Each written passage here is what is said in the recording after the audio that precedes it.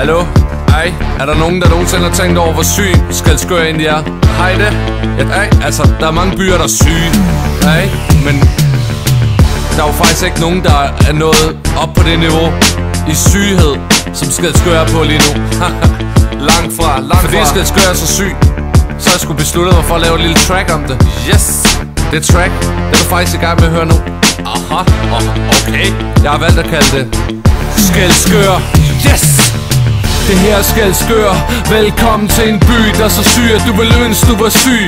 Lige fra byskiltet og ud til sidste Snakker du lort, for du smadrer dit fjes Med en speedbåd på fuld skru gennem nord. Og du kan tro, det er en ægte sømand, der står bag roret Fucking gangster med en papegøje Med samme funktion som Odins øjne.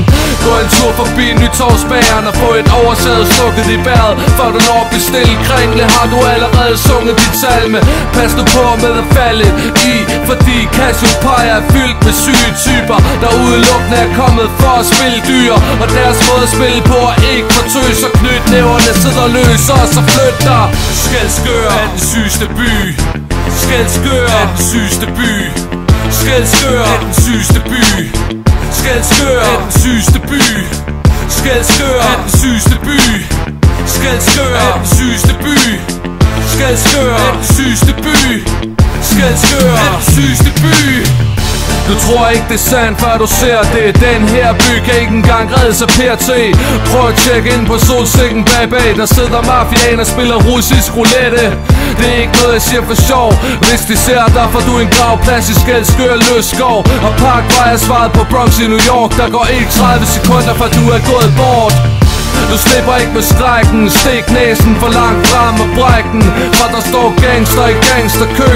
Og hold dig heller langt væk fra Æresø For de hejler før de tænker Så færgen tager dig kun ned hvis du har hvide hænder.